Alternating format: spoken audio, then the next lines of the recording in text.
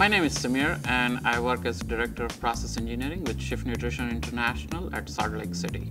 Schiff Nutrition International is a leading manufacturer of vitamins, minerals, joint care product. You can find our products in all leading stores in United States and other places. I look after process engineering, troubleshooting, supporting manufacturing, creating new processes, and uh, supporting Infinity QS to collect the data, analyze the data, and support the processes. Before we had Infinity QS, we used to use another competitor's product. The product was uh, difficult to use, uh, needed a lot of customization, and had proprietary hardware and software.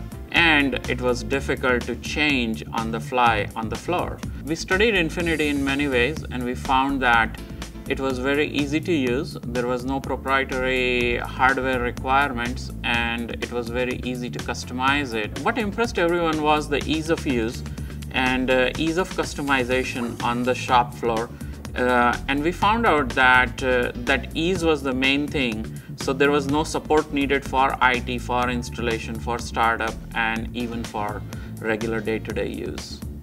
Operators uh, love using Infinity QS because of ease of use because uh, they can see in real time what's happening uh, in their process. They can see that their test is within limits or out of limits as they're performing it.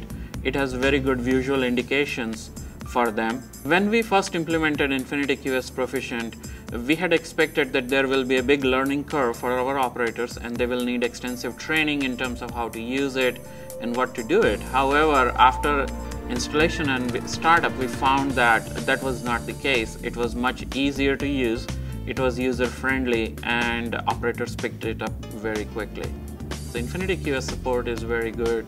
Uh, they provide us uh, immediate support as and when the need arises.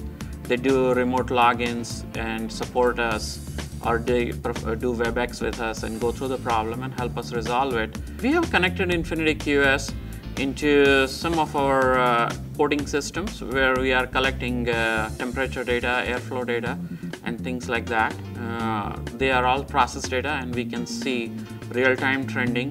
Uh, so we don't have to buy specific vendor software on every computer or throughout our network, but we are bringing in the data through Proficient and that can be seen on every computer where there is Proficient.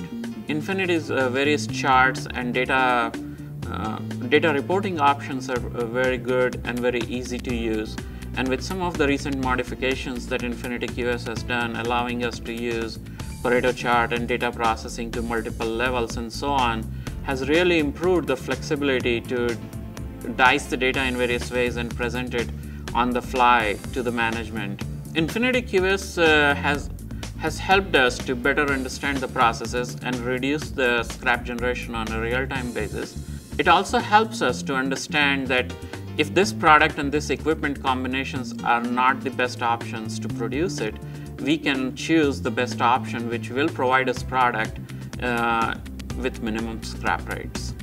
We had a good experience with Infinity QS uh, in our operations and uh, I think that Infinity QS can be recommended for most of operations, at least I can say that for operations which are similar to us uh, where we are collecting data either using gauges or doing manual testing or collecting data using automated systems.